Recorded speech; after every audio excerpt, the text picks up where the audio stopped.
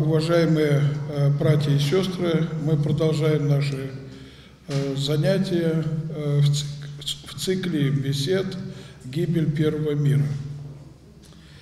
И сегодня мы начинаем с изучения четвертой главы книги «Бытия».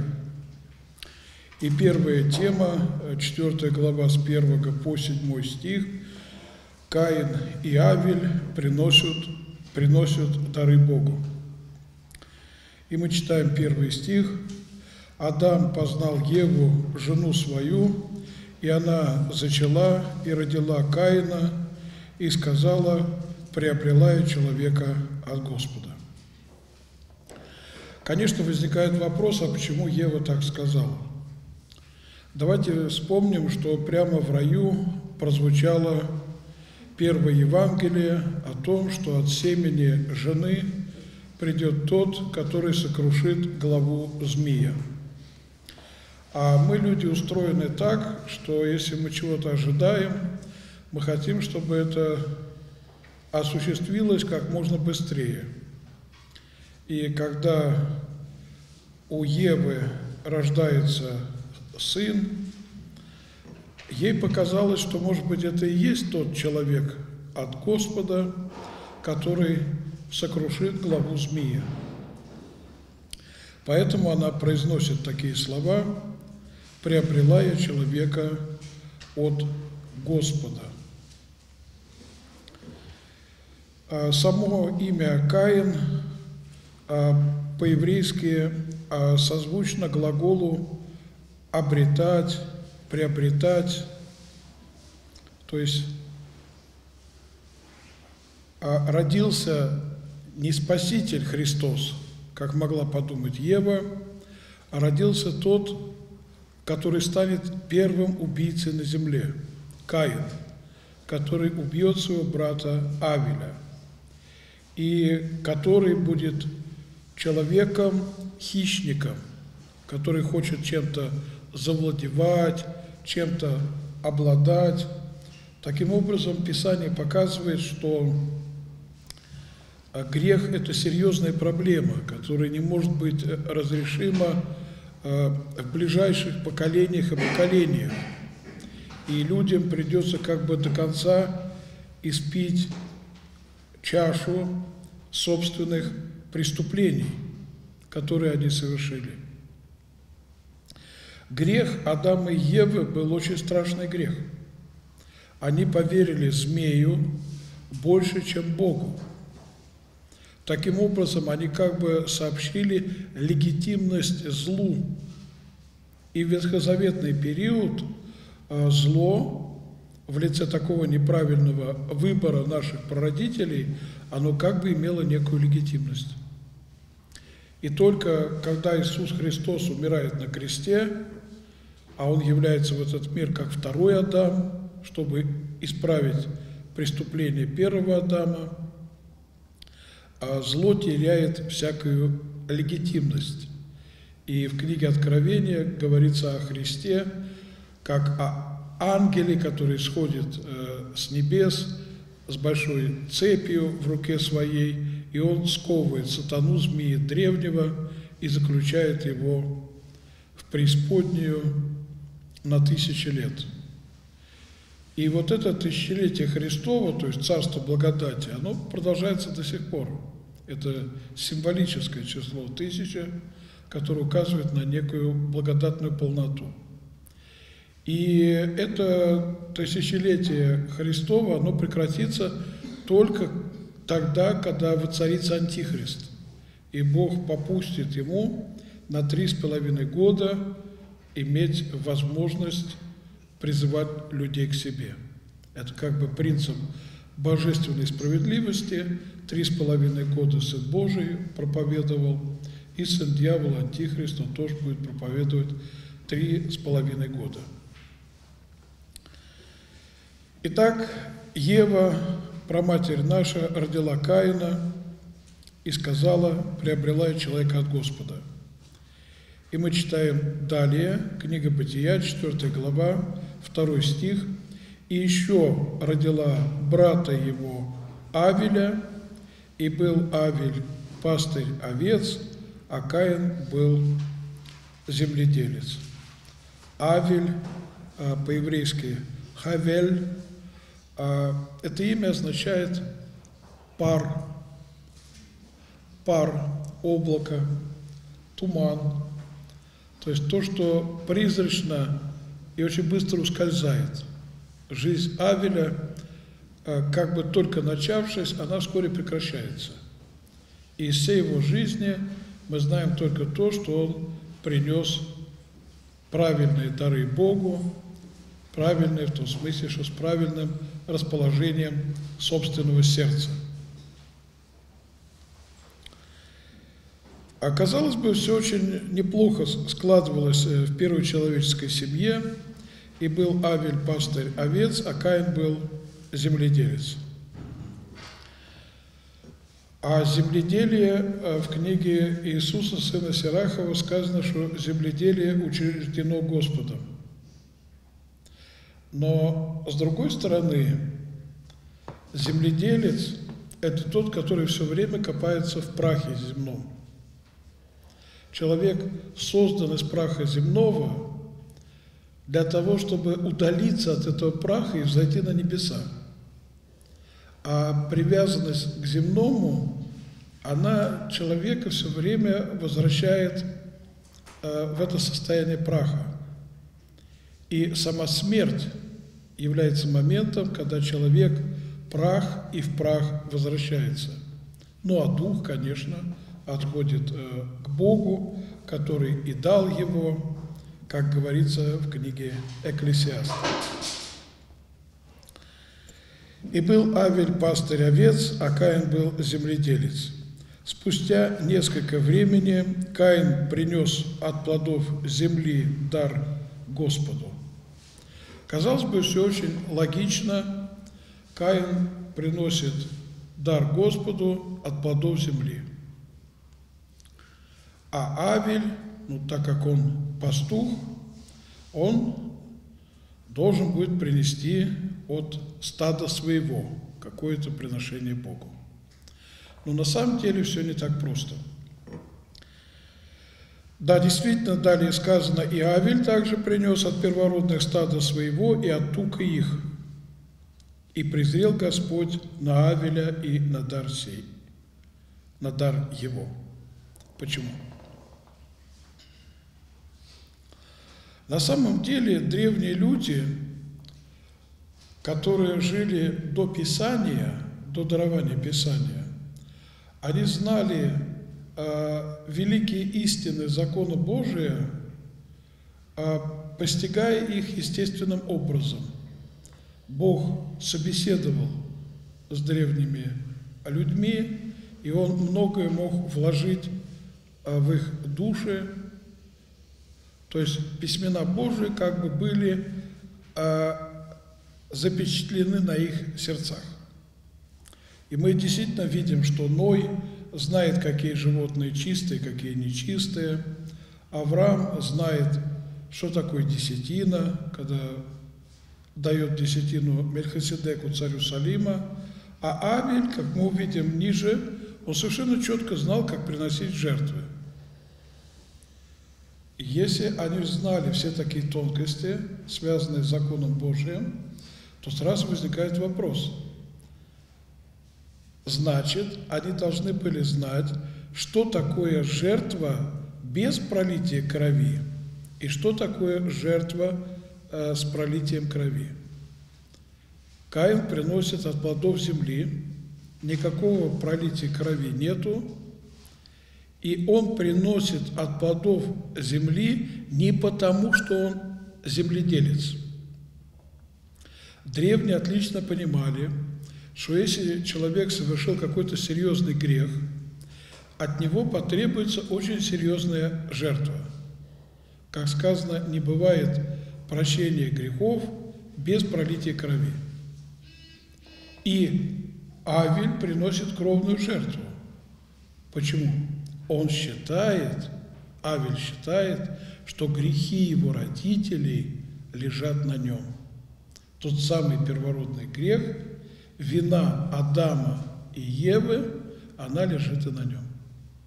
как сказано в 20 главе книги «Исход», Бог наказывает детей за вину отцов до третьего-четвертого рода. А Каин так не считает. Каин считает себя неплохим человеком. Каин считает, может быть, да, у него были не грехи, а какие-то огрешности, и ему не надо приносить серьезную жертву с пролитием крови. Он же мог прийти к Авелю и выпросить у него ягненка для жертвоприношения. Конечно бы ему никто в этом не отказал. Но Каин считает себя неплохим человеком. И в этом проблема Каина. В книге Левит есть а, законы о Мацоре, то есть о проказе. Ветхозаветная проказа, а, многие считают, что это была такая духовная болезнь, которая давалась за осуждение других людей, за неправильное отношение к ним. И вот в книге Левит сказано, что если человек покрывается проказой, священник должен осмотреть этого человека, и если священник увидит, что проказа местами на теле, а где-то ее нету, священник объявляет такого человека нечистым. Но совершенно неожиданно в книге Левит далее говорится, если священник осмотрит человека, и увидит, что проказа покрыла все его тело от темени головы до подошвы ног, так что нету здорового места, священник объявляет его чистым. Как же так? На самом деле это символ подлинного покаяния. То есть, когда человек идет на исповедь, если он говорит, да, у меня есть огрехи, но в целом я неплохой человек. Он как бы признает, что какие-то пятна есть на его совести, но в целом он человек неплохой. Вот таким был Каин. А Авель считает себя всецело виновным. Каин отделяет себя от греха Адама и от греха Евы, а он как бы а, ни при чем. А при чем действительно он а если вот Адам так поступил, а Ева так поступила, он как бы ни при чем. Сын за отца не отвечает. Но это плохой сын не отвечает за отца. Хороший сын берет на себя ответственность за своего отца. Авель не отделяет себя от проблем своей собственной семьи. Он осознает – что это общая катастрофа, то грехопадение, которое пережили его родители, и он в беззаконии зачат, во грехе родился. То есть все произошедшие от крови Адама уже причастны к этому первородному греху. Вот почему Бог не принимает жертву Каина. Каин пребывает состояние некого самолюбования. И вот почему Господь принимает жертву Авеля, ибо Бог гордым противится, как мы знаем из Писания, а смиренным дает благодать. И можно вспомнить, как э, в Новом Завете рассказывается о том, как в храм пришли помолиться два человека, мытари фарисей, помните? И Фарисей – это был человек благочестивый в понимании ветхозаветного времени, да и нашего времени. Он свидетельствовал о себе, что он постится два раза в неделю, что он дает десятину на храм Божий. И вообще он был не такой, как этот мытарь. Но именно мытарь пошел оправданным, потому что он не находил для себя никакого извинения. Мытарь только бил себя в грудь и, обращаясь к Богу, говорил, «Боже, милостив, буди ко мне грешному». А, собственно говоря, воскресное чтение, которое вводит нас в дни Великого Поста, они очень интересные. Евангелие о мытаре и фарисее – это Евангелие о самом идеальном прихожанине, это фарисей, и о самом непутевом прихожанине, это мытарь. Мытарь даже, наверное, не прихожанин, он захожанин. Евангелие о блудном сыне, оно тоже нас вводит в дни Великого Поста, это Евангелие о самом плохом члене семьи. семьи. Он расточил имение отца, живя распутно. Сам плохой человек в доме. А Евангелие о Закхее, которое нас тоже вводит в дни Великого Поста, это Евангелие о самом плохом человеке в городе. О самом плохом человеке в городе. Зачем церковь так тематически вводит нас во время Великого Поста? Потому что цель поста – покаяние. А покаяние невозможно без всецелого осознания своей греховности. Да, Закхей был самый плохой человек в городе, но он, как сказано о нем в Евангелии, искал видеть Иисуса, потому что хотел знать, кто он. Да, мытарь был самый плохой прихожанин э, в Иерусалимском храме, но он проявил смирение.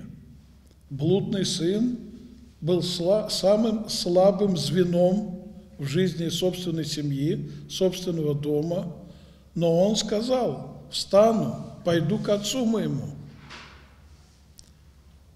И Авель – это пример человека, который проявляет сокрушение не только о своих грехах, но и о грехах своих домашних. И помните, какое толкование дает блаженный Феофилакт на известные слова «блаженны плачущие». Он дает истолкование, о чем же плачут эти блаженные? Они плачут не только о своих грехах, но и о грехах других людей. А если это твои родители, Адам, Ева, Авель не отделяет себя от своей семьи. Для него семья – это граница ответственности, очерченная рукой Бога. Ведь действительно никто не выбирал себе ту или иную семью. Это некая божественная данность. И нация, которой принадлежит человек, это тоже граница ответственности, очерченная рукой Бога. Мы говорим на этом языке от детских лет. И страна, в которой человек живет, это тоже граница ответственности, очерченная рукой Бога. Каин не признает никаких границ ответственности. Каин – это вещь сама в себе и сама для себя. «И презрел Господь на Авеля и на дар его». Как это можно было распознать? Древнее предание устанавливает, что когда Авель приносил свою жертву, огонь воспламенился сверхъестественным образом и потребил эту жертву. А Каин, как ни старался развести свой жертвенный костер, у него так ничего не получилось, много дыма, наверное, глаза слезились, у Каина, чихал, кашлял, но жертва не была принята. И презрел Господь на Авеля и на дар его, а на Каина и на дар его не презрел. Каин сильно огорчился, и поникло лицо его. То есть Каин переживает разочарование – может быть, в себе? Нет. Скорее всего, в Боге. Потому что ему могло показаться, что это несправедливо, что Бог взваливает на него грехи его родителей. А действительно, ведь Каин не делал свой выбор между добром и злом, он вообще не стоял рядом с этим деревом познания добра и зла. и он огорчился.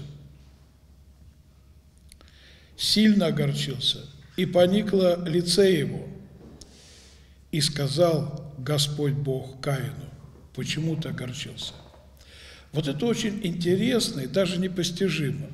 Нигде в Библии не говорится, что Бог собеседовал хотя бы один раз с Авелем. Но с Каином Бог собеседует. До убийства Авеля и после убийства Авеля. У Бога повышенный интерес к людям, которые на грани греха или уже впали в тот или иной грех. Действительно, как Христос говорит о себе, что Он пришел в этот мир спасать не праведных, а грешных. И сказал Господь Бог Каину, почему ты огорчился и от чего поникло лице твое. Если делаешь доброе, то не поднимаешь ли лица, а если не делаешь доброго, то у дверей грех лежит, он влечет тебя к себе, но ты господствуй над ним. Что значит, если делаешь доброе, то не поднимаешь ли лица? Каин, огорчившись, весь сосредоточился на прахе земном. Он смотрит себе под ноги. Любой греховный помысел, он нас приближает к праху, потому что любой грех суицидален.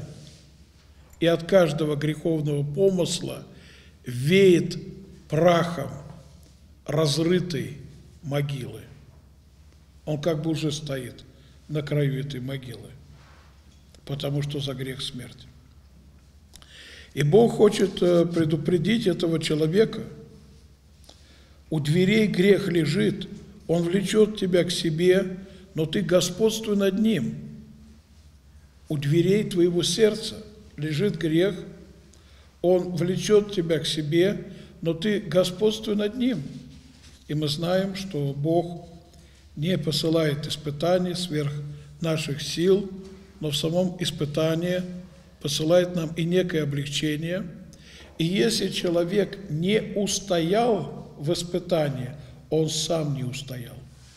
Но это не значит, что Бог попустил человеку такое испытание, которое смогло одолеть человека.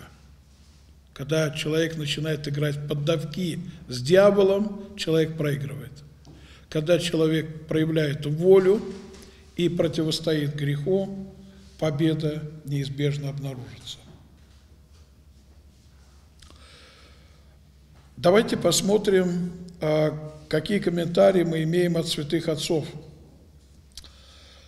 Ефрем Сирин в своем толковании на книгу «Бытия» пишет – Авель был рассудителен, делая жертвоприношение, а Каин нет. Авель выбрал и принес в жертву лучших ягнят из первого приплода и самых жирных, а Каин принес или молодое зерно, или плоды, которые созрели одновременно с молодым зерном. Его жертва была более скудной, чем жертва брата его Авеля. Но если бы он принес ее не с пренебрежением, то и она была бы угодна Богу, как приношение его брата. Когда принесли они жертвы, один агнца из стад своих, а другой плоды земные, то поскольку Каин уже при самом первом жертвоприношении высказал свое небрежение, Бог не восхотел принять от него жертвы, чтобы научить его, как следовало бы это делать. Итак, Авель приносит жертву от первородных стада своего, от тука их.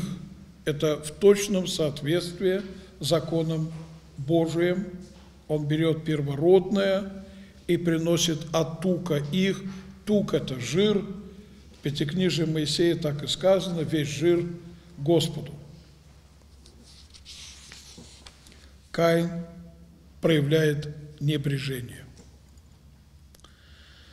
Ориген в своем трактате о молитве пишет, в Каине испорченность его родилась не тогда, когда он убил брата своего, ведь и прежде Бог, ведущий сердца людей, не презрел на Каина и на дар его. Просто злоба его вышла наружу, когда он убил Авеля. То есть преступление совершается задолго до самого преступления, до самого акта преступления. Сначала человек как бы проигрывает всю эту ситуацию в своем собственном сердце. И что происходит дальше? И сказал Каин Авелю, брату своему, пойдем в поле. И когда они были в поле, восстал Каин на Авеля, брата своего, и убил его. Казалось бы, случайная деталь, и сказал Каин Авелю, брату своему, пойдем в поле.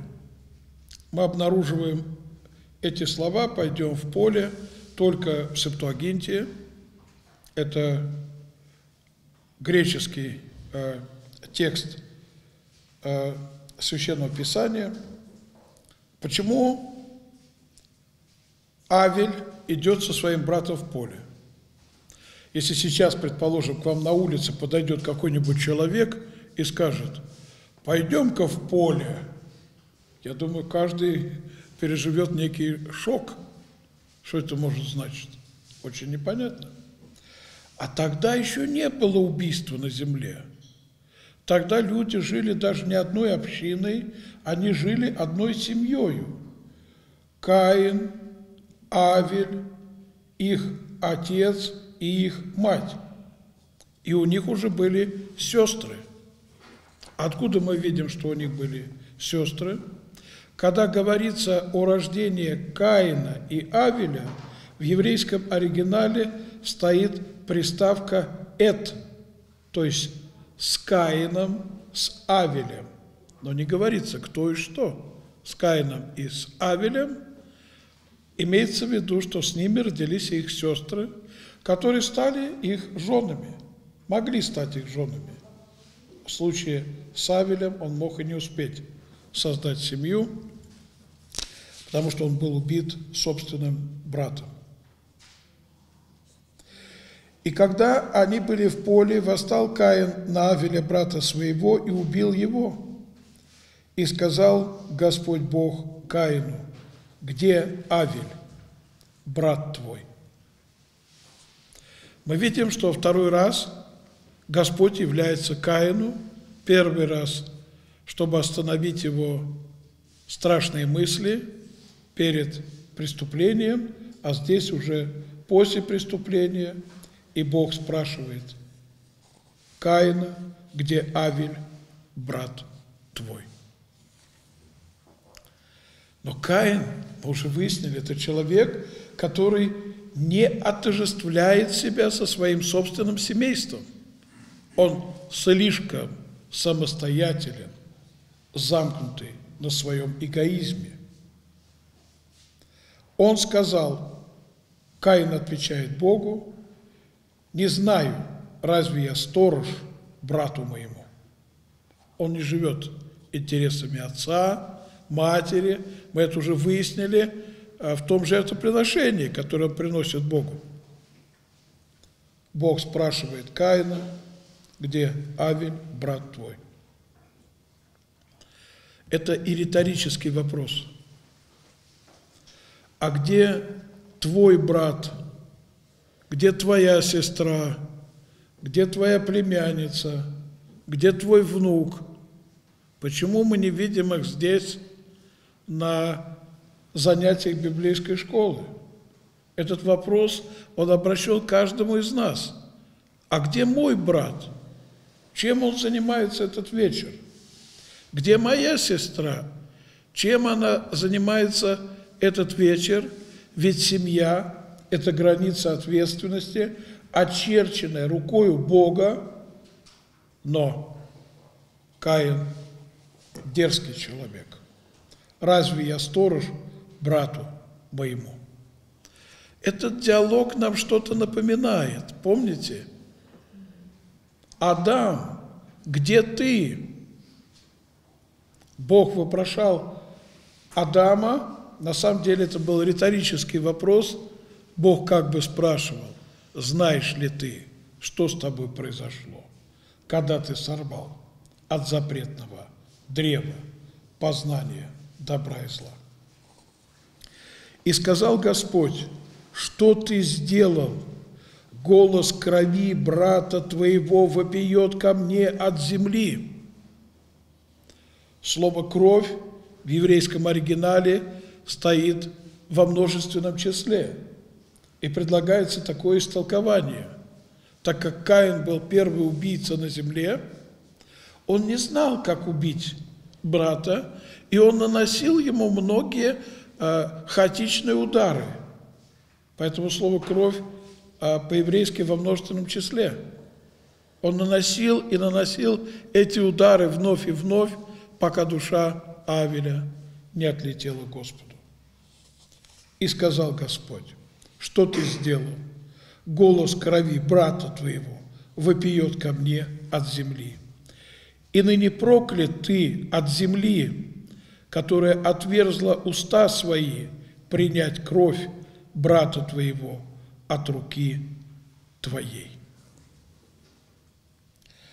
В каком смысле кровь вопиет от земли?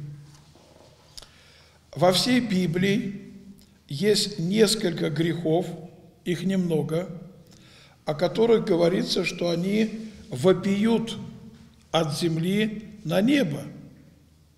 Какие же это грехи? Это грех убийства. Это садомский грех. Там те же самые слова. Вопль их дошел до небес.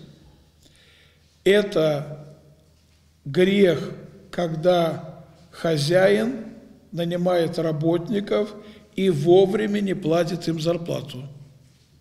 Этот грех тоже выпьет от земли к небу. И это когда кто-то угнетает вдов и сирот. Этот грех тоже вопиет от земли.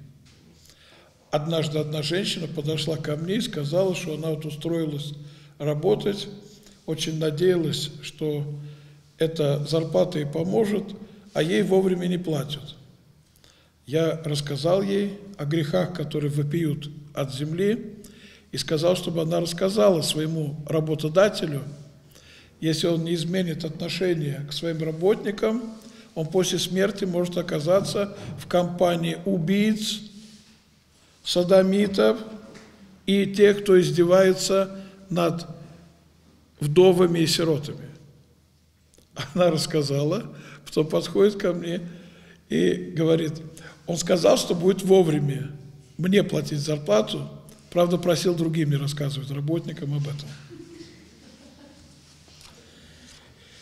И ныне прокляты от земли, которая отверзла уста свои, принять кровь брата твоего от руки твоей.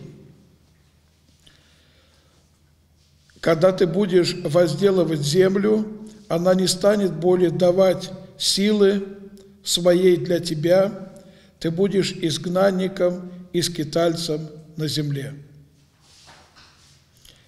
И сказал Каин Господу Богу, наказание мое больше, нежели снести можно. Итак, а, Господь дает наказание Каину, проклятый от земли, а все интересы его жизнедеятельности – это только земля. Он будет наказан своей привязанностью к этому праху. Бог всегда наказывает человека его грехами и его греховными привязанностями. И Каин напуган – и сказал Каин Господу Богу, наказание мое больше, нежели снести можно. Вот ты теперь сгоняешь меня с лица земли, и от лица Твоего я скроюсь, и буду изгнанником и скитальцем на земле, и всякий, кто встретится со мною, убьет меня. Всякий, прежде всего, имеется э, в виду мир животный.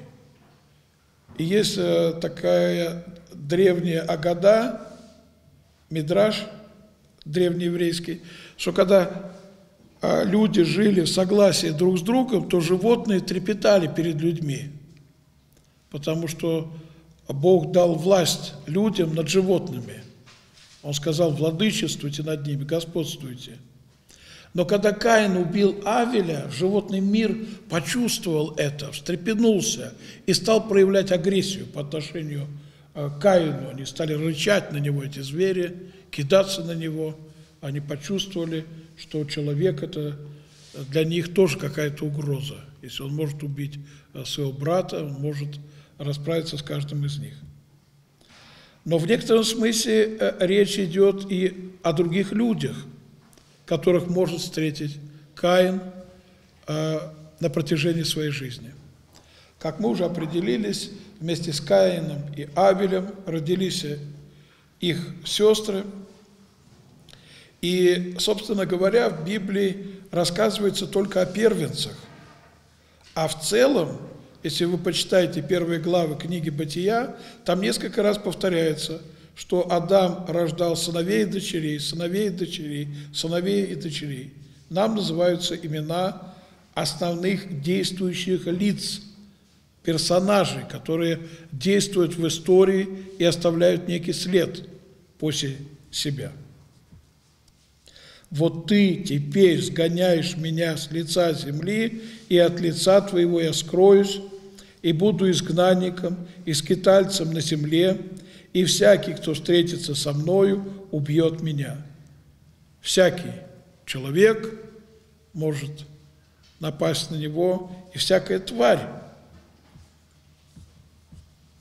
И сказал ему Господь Бог, «Зато всякому, кто убьет Каина, отомстится всемиро». И сделал Господь Бог Каину знамение, чтобы никто, встретившись с ним, не убил его.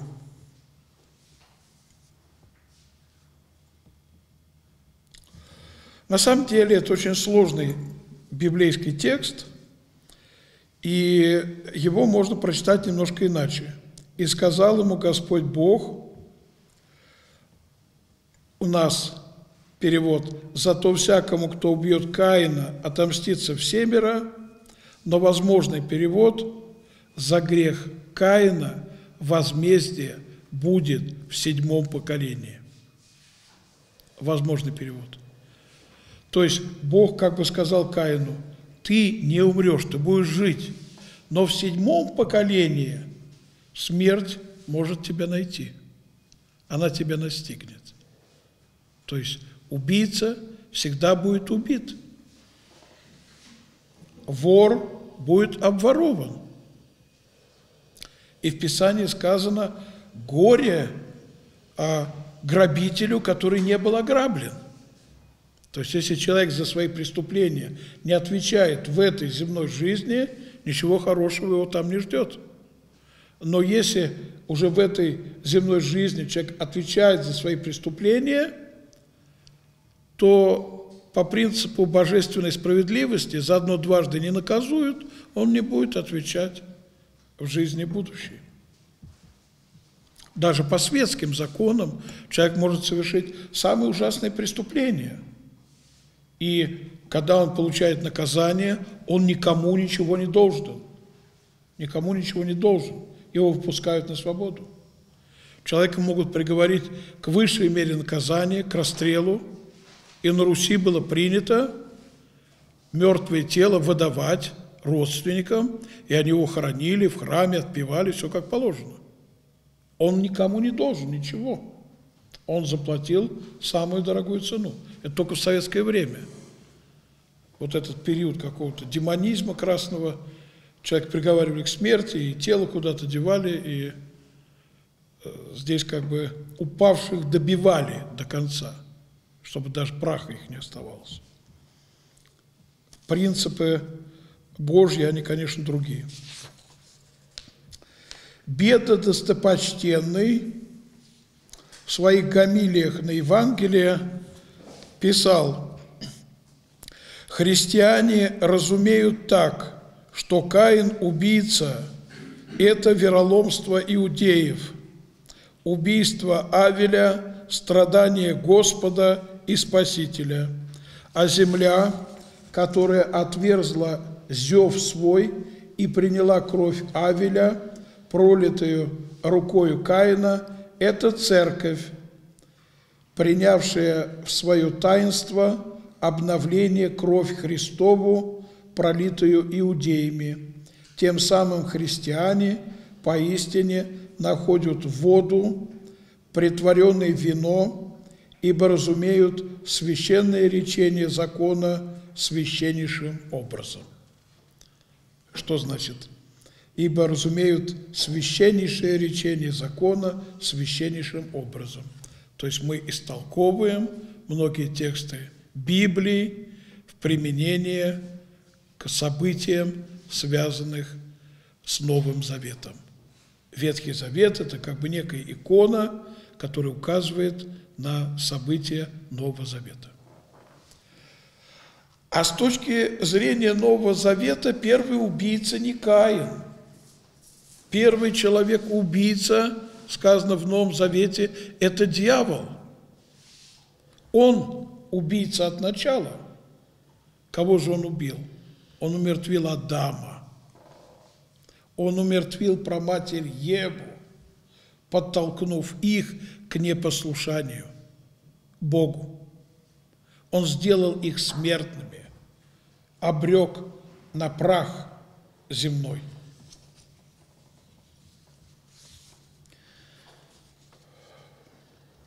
Ефрем Сирин пишет – Бог является Каину без гнева, чтобы, если покаяться, молитва, произнесенная устами его, загладила грех убийства, совершенный рукой его. А если не покаяться, то определено ему будет тяжкое наказание, которого заслуживало злодеяние. А Максим Туринский, объясняя, что кровь Авеля вопияла от земли, он пишет, конечно, нет никакого голоса крови, но говорится, что невинно пролитая кровь вопиет, потому что она вопиет не голосом, но тем, что была пролита, и к Богу взывает – не красноречивыми словами, но возмущением перед преступлением и уличает преступника в совершенном преступлении, не обвинительными речами, но голосом его собственной совести. Злодеяние, изобличаемое словами, может быть оправдано, но если пролитая кровь взывает к совести, нет ему оправдания – ибо совесть молча, не встречая возражений, обличает и судит преступника. Действительно, как говорят в русском народе, кровь – это не водится, она просто так не проливается. Но у нас остается открытым вопрос, какое же знамение сделал Господь Бог Каину – как мы прочитали, «И сделал Господь Бог Каину знамение, чтобы никто, встретившись с ним, не убил его». А, древняя традиция сохранила очень разные истолкования, что это за знамение. Даже есть такое очень интересное истолкование, что у Каина появилась собака.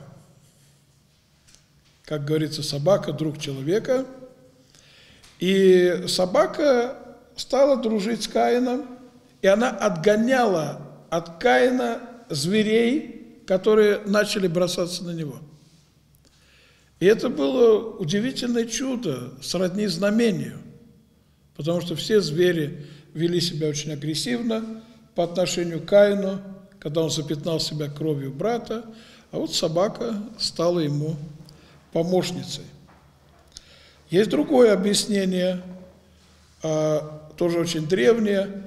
Вид Каина изменился, у него появилась какая-то шкура на лице, звериная сущность просветилась через э, э, его плоть и явилась в самой плоти, у него э, шкура какая-то появилась, рог какой-то на лбу. И его принимали даже за дикого зверя. Есть такие изображения, э, где Каин, как дикий такой зверь, прячется в кустах. И есть другое объяснение, что Бог написал свое святое имя – на челе Каина, и так как звери и люди трепетали перед именем Божьим, там не все имя Божье было, а две буквы, это э, Йод и Хет, начальные буквы четырехбуквенного имени, которые указывают на божественное милосердие. То есть, как бы, таким образом Бог поставил печать на его чело, сказав, что он находится под защитой Божьего милосердия до седьмого поколения своих потомков. Никто до этого момента не имеет права его трогать. И действительно в Библии мы находим такие тексты, где говорится, что долготерпение Божие ведет к покаянию. Бог долготерпит, ожидая нашего раскаяния.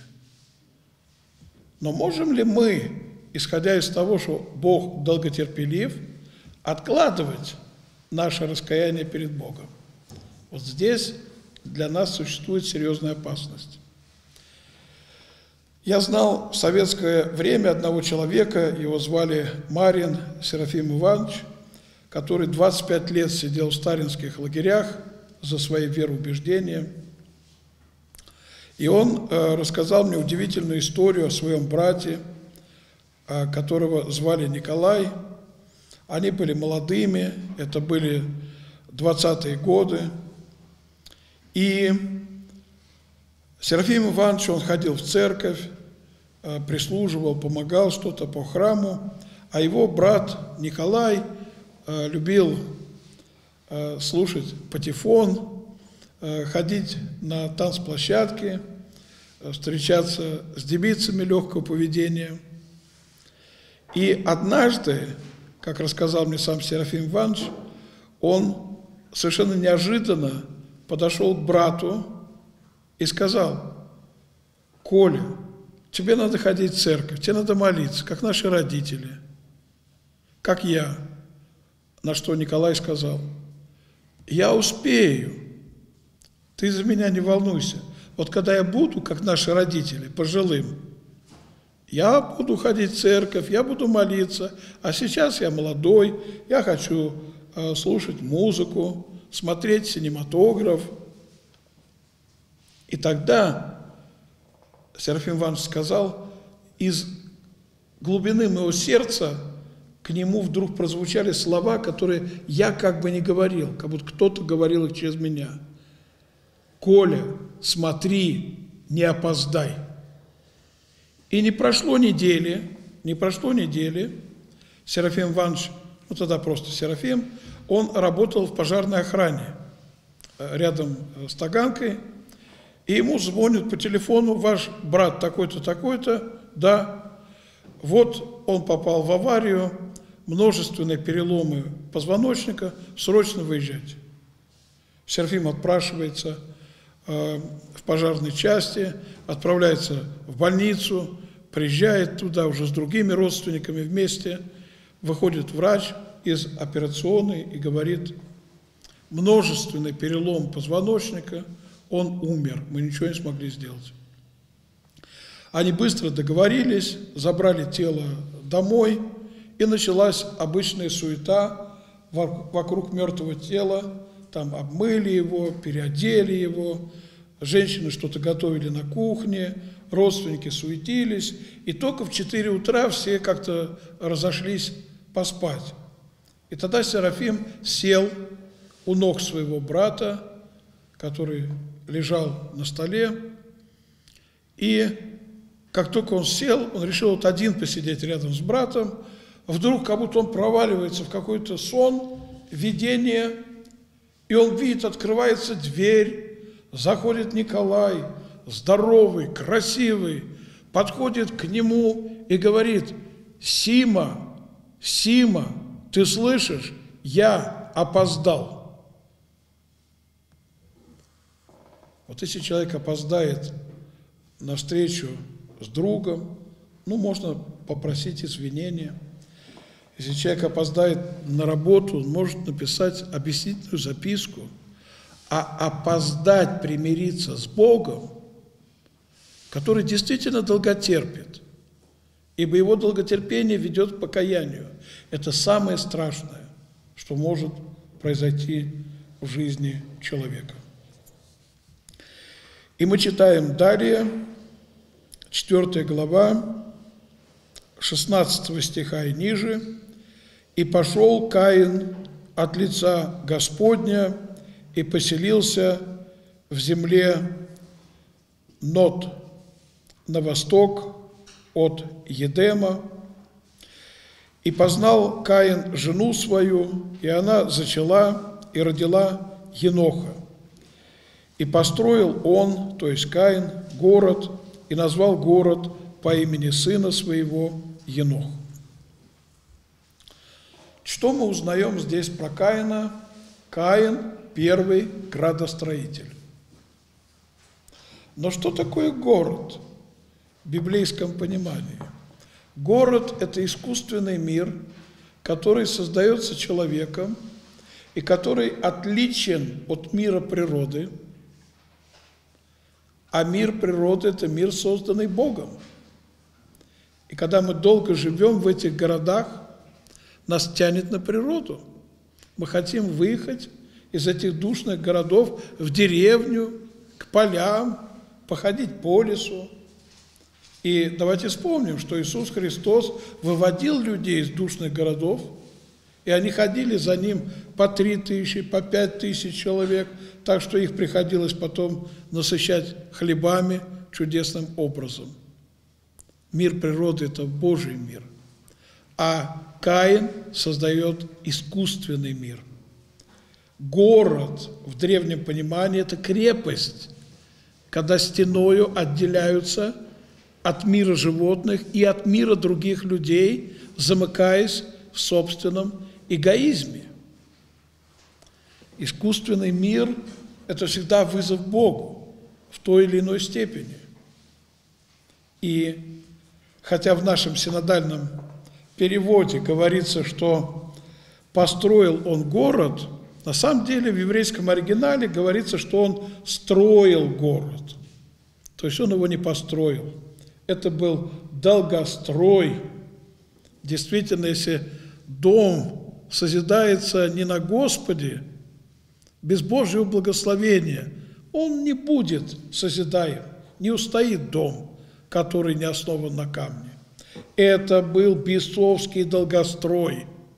Как блаженный Августин пишет, из древности существуют два града – град Божий и град дьявола. Из древности существуют два народа – народ Божий и народ дьявола. Одни, народ дьявола, они влюблены в себя до презрения к Богу, другой, народ Божий, они возлюбили Господа до презрения к себе. И построил он город, то есть начал он строить город, но так и не закончил – как вот эта революция, столетие которой мы отмечаем, сколько было пролито крови, сколько совершено преступлений.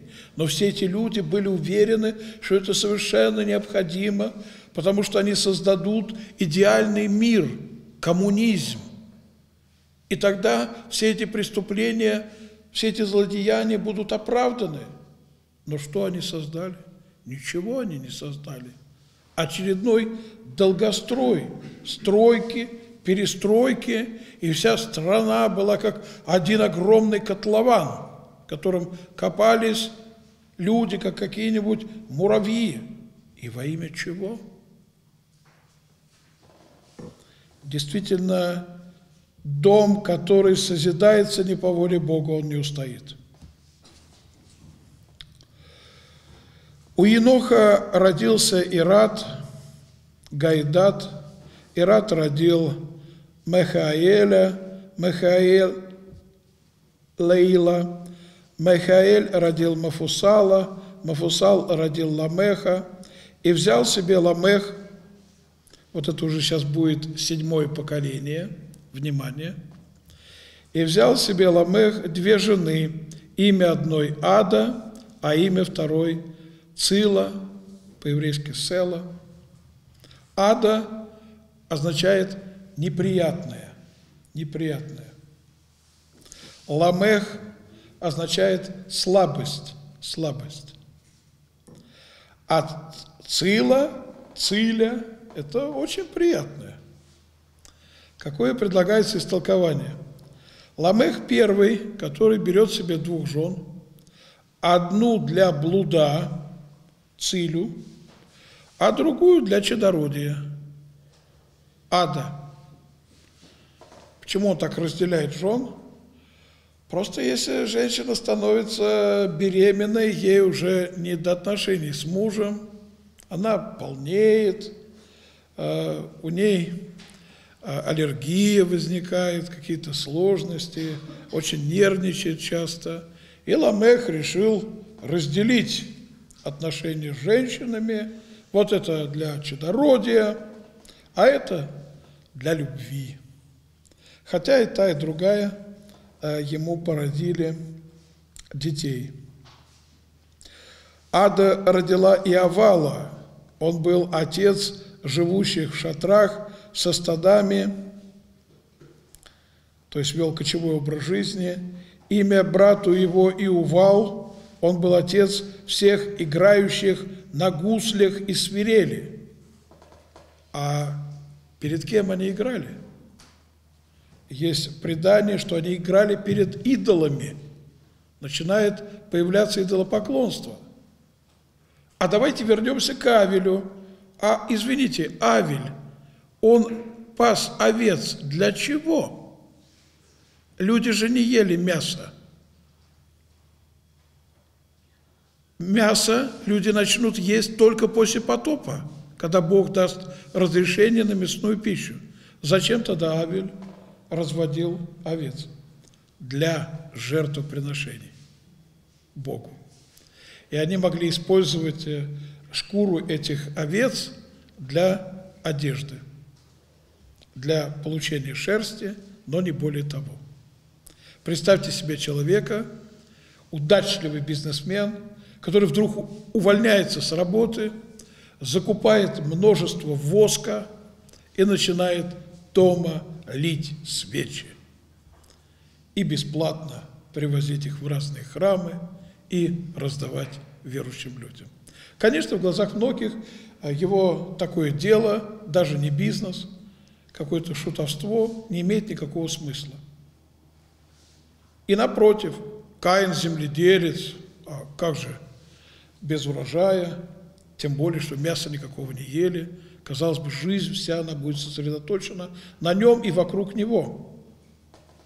А вот здесь уже появляются люди, появляется человек, он был отец всех играющих на гуслях и свирелях.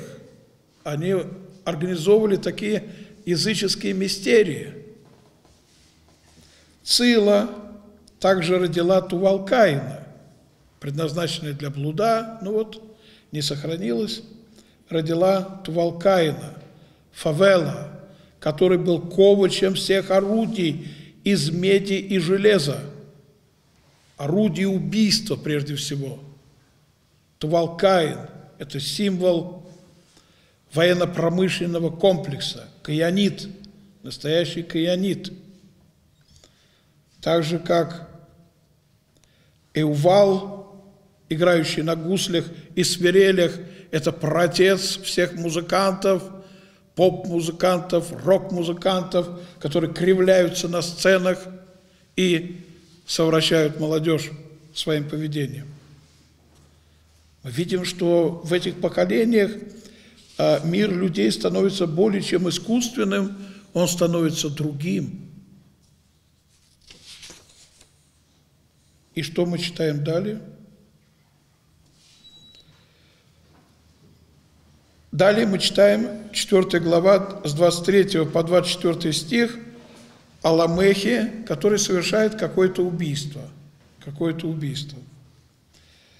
«И сказал Ламех женам своим, Ада и Цила, послушайте голоса моего, жены Ламеховы, внимайте словам моим, я убил мужа в язву мне и отрока в рану мне.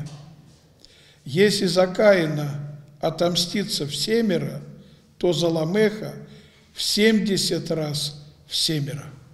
О чем это рассказывает Ламех? Существует очень древнее предание, оно отражено даже в христианской иконографии, то есть есть изображение этого события, что Ламех под старость стал очень плохо видеть. Но Ламех очень любил ходить на охоту вместе со своим потомком, а, сыном Тувалкаином, который изготовлял разные орудия, копья, стрелы и так далее. И когда Ламех однажды пошел на охоту, а, он попросил, чтобы Тувалкаин указывал ему направление, куда стрелять из лука. И а Тувалкаин увидел в кустах какое-то чудище лохматое, ползает по кустам. И он показал Ламеху направление. Ламех нацелился, стрельнул в указанном направлении, они подошли поближе и рассмотрели, это их предок, это Каин. Он оказался убит в седьмом поколении. Долготерпение Божие – дало ему отсрочку, и он смог за свое убийство ответить своей смертью. Но Ламех так расстроился, что он убил своего предка, что он с силой раскинул руки и зашиб отрока Тувалкаина. Таким образом, справедливость восторжествовала в этом мире. Убийца Авеля убит, изготовитель оружия убит этим оружием. Ламех якобы зашиб его луком, который был у него в руках. И теперь Ламех кается перед своими женами. Он собрал их вместе и сказал Ламех женам своим, Аде и Цила, послушайте голоса моего, жены Ламеховы, внимайте слова моим, я убил мужа, в язву мне и отрока в рану мне. Если за Каина отомстится в семеро, то за Ламеха в семьдесят раз в семеро. Что же он говорит? Он начинает пророчествовать. Человек, который кается перед своими женами, это человек, который проявляет смирение глубочайшее. Он приносит открытое публичное покаяние – и ему открывается тайна, что его грех будет отомщен в 77-м поколении. От кого? От Ламеха? Нет, от Адама. Тогда был жив Адам, он был глава всего человечества. 77-й от Адама. Открывайте Евангелие от Луки. Помните, там дается родословие Иисуса Христа – от Христа к Адаму, первому человеку, сколько имен? 77 имен. Что же увидел Ламех? Ламех увидел, что через 77 поколений от Адама в этот мир родится тот, который возьмет на себя грехи всего мира. И отомщение за грех Ламеха будет на нем. Ведь Христос – это тот, который взял на себя наши грехи, всю вину наших преступлений. Такое объяснение нам предлагают отцы. Мы это находим у блаженного Августина и у других некоторых отцов.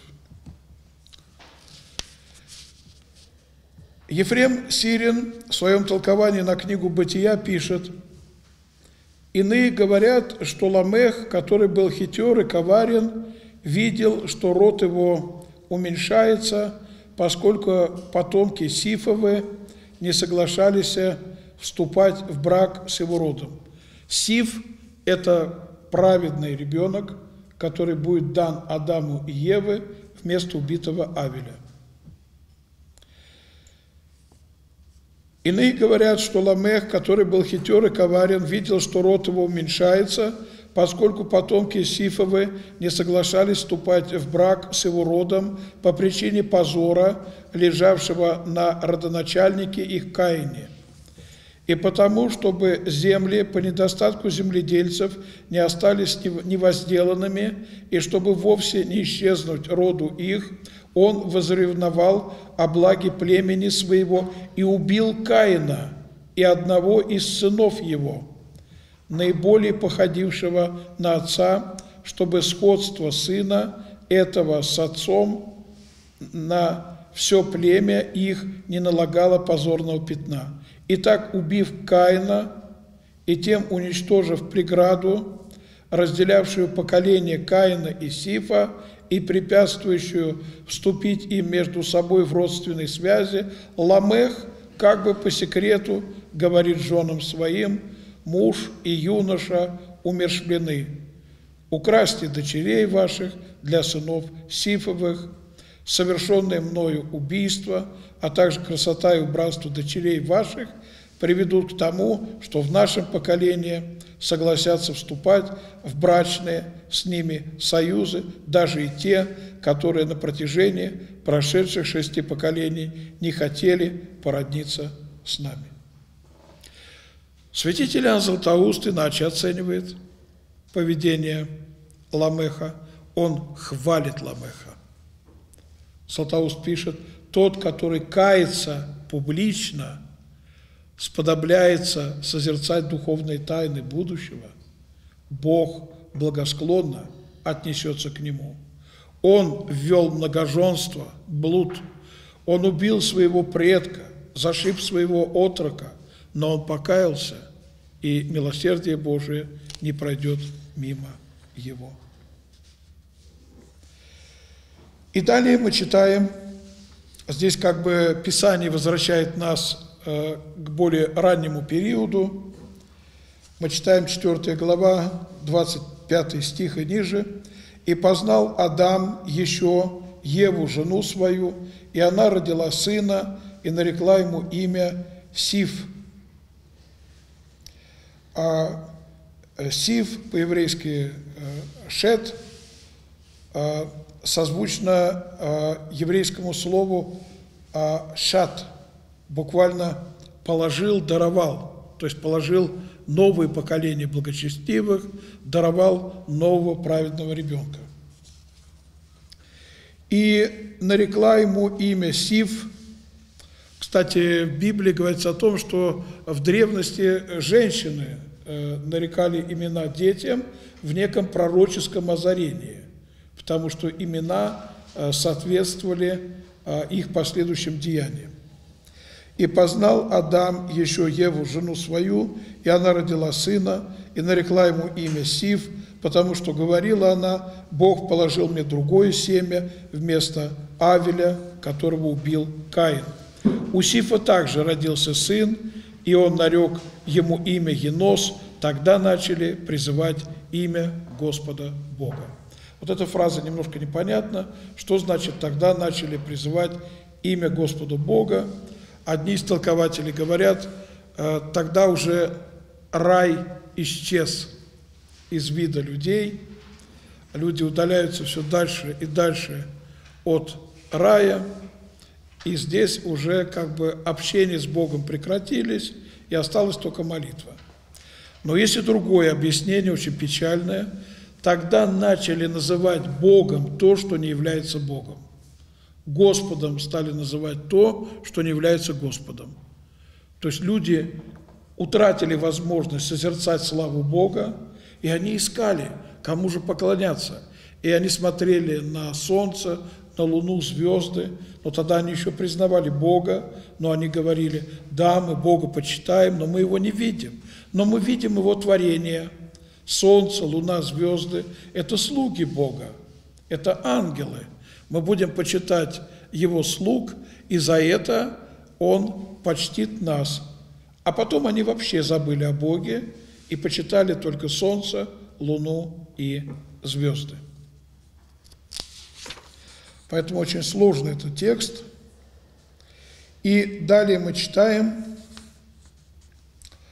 а, пятая глава с 1 по 8 стих.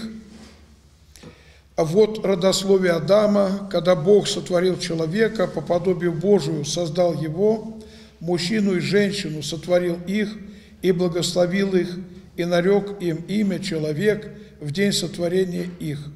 Адам жил 130 лет и родил сына по подобию своему и по образу своему, и нарек ему имя Сиф. Вот здесь мы видим, что произошло со всем родом человеческим. Внимательно смотрите на третий стих. Если про Адама сказано, что Адам был создан по образу и подобию Бога, а здесь что мы читаем? Адам жил 130, 230 лет, здесь э, в моем издании как бы э, две хронологии временных. Родил сына по подобию своему и по образу своему.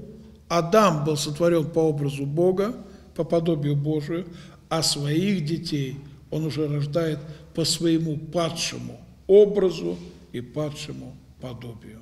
То есть в людях уже утратилась связь э, с божеством, когда в раю сладости Создатель общался с людьми непосредственно. Дней Адама по рождениям Сифа было 800 а, лет, ну, тут добавляется 800-700 лет, и родил он сынов и дочерей. Вот видите, эта фраза, она часто повторяется, и родил он сынов и дочерей. Всех же дней жизни Адамовой было 930 лет, и он умер. Когда Адам умер, люди очень растерялись, они не знали, что делать с его телом. А, тело Авеля похоронили Адам и Ева, а последующие поколения уже не помнили об этом. А так как Адама все почитали, его положили на одной возвышенной горе, точнее это холм такой возвышенный, и оставили лежать на этом холме, а люди в долине, рядом с этим местом, э, стали поминать э, своего праотца. А через некоторое время солнце светило ярко, и началось разложение тела Адама, и кожа стала сползать со лба. И когда люди посмотрели, им было печально видеть вот этот процесс разложения и оголенный череп Адама, и тогда они вырыли яму, туда положили Адама и засыпали место это землею, а эту а, гору, этот холм назвали гора черепа, по-еврейски Голгофа. Голгофа – это то самое место, где близ Иерусалима будет распят Господь наш Иисус Христос. И когда мы видим православное изображение креста, мы внизу видим череп и кости, и надписание «Голова Адама». Когда Христа казнили для того, чтобы э, крест, э, чтобы он держался в земле, выкопали яму римляне и нашли череп, какой-то череп, они его бросили рядом. И когда крест подняли со Спасителем, утвердили в земле, стали присыпать землею, камнями обкладывать, и взяли этот череп, и тоже прилепили к подножию, чтобы древо креста было э, устойчиво, и кровь Сына Божия стекала на череп первого человека, Адама, праотца всех людей. Все мы – кровь Адама, нашего праотца. И само имя Адам, как я вам объяснял, оно и, собственное имя, и нарицательное. Оно означает имя первого человека, и с еврейского просто переводится как «человек». Адам – это человек в общем собирательном смысле. Сив жил 105, 205 по другой хронологии лет и родил Еноса. По рождении Еноса Сив жил 800 лет, 707 лет и родил сынов и дочерей. Всех же дней Сифовых было 912 лет, и он умер. Итак, человечество теперь движется в двух направлениях – каианиты и сифиты. Каианиты – это потомки нечестивого Каина, среди которых, впрочем, встречались люди, которые находили выход из ситуации, как Ламех – который исповедовал грядущего Христа в 77-м поколении от Адама и совершил публичное покаяние. Сифиты – это были потомки праведного Сифа. И, собственно, потоп Бог наводит на землю только по одной причине. Когда Бог увидел, что сыны Божии, то есть потомки Сифа, стали брать за себя дочерей человеческих, то есть каяниток. Богу всегда неугодно, когда в наших семьях оказываются эти каянитки с нашими детьми, которых из детства мы посвящаем Богу, и возникают семьи не на основе духовного единства, а чисто животного, плотского влечения. Но о том, какие события были э, перед потопом, и как Господь пытался образумить людей, и как Бог нашел праведника среди э, сефитов, чтобы он построил ковчег, который является символом церкви, мы будем говорить в следующий раз, если будем живы, и Господь нам позволит. Спасибо вас, Христос.